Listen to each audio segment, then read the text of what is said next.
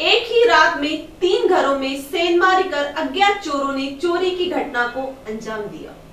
अक्सर बंद घरों में सेंधमारी कर अज्ञात चोर चोरी की घटनाओं को अंजाम देते हैं और इसमें नागरिकों का बड़े पैमाने पर नुकसान होता है।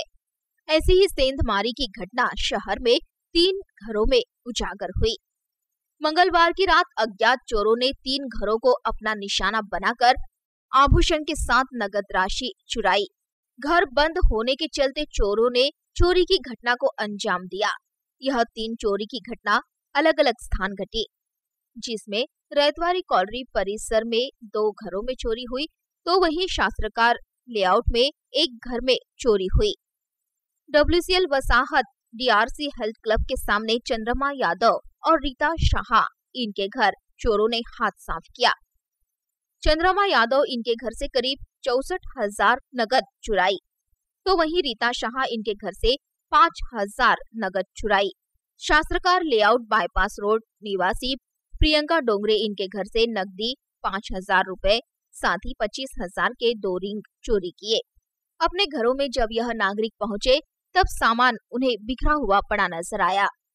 तत्काल पुलिस को इस घटना की जानकारी दी गई। पुलिस मौके पर पहुँची मौका पंचनामा किया। इस तरह से घर को ताला लगा हुआ देख अज्ञात चोरों ने चोरी की घटना को अंजाम दिया। इस घटना संदर्भ में विस्तृत रूप से जानकारी एपीआई राहुल चौहान ने दी। रैतवाडी कॉलनी येथे दोन ठिकाणी आणि शास्त्रकार लेआउट येथे एका ठिकाणी घरफोडी झालेली आहे.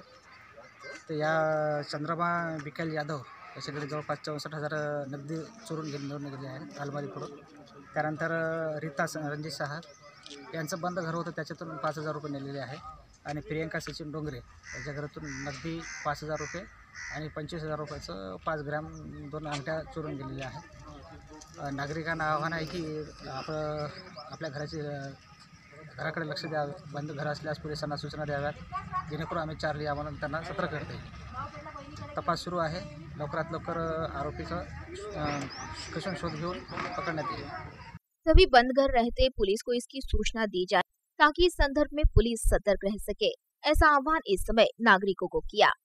साथ ही इस समय चंद्रमा यादव ने इस संदर्भ में अपनी प्रतिक्रिया देते हुए पुलिस का बंदोबस्त बढ़ाने, साथ ही चोरी करने वाले चोरों पर सख्त कार्रवाई करने की मांग की। यहाँ पर चोरी की वारदात बहुत बढ़ गई है।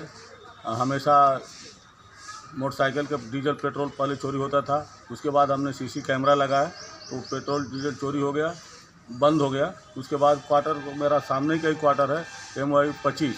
इसमें इसके पहले भी एक बार टीवी वगैरह सब तोड़ फोड़ कर दिए थे तो कोई कार्रवाई नहीं हुई।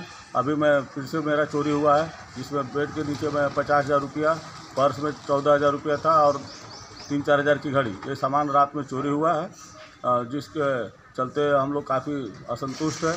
यहाँ पर पुलिस का कोई बंदोबस्त नहीं है।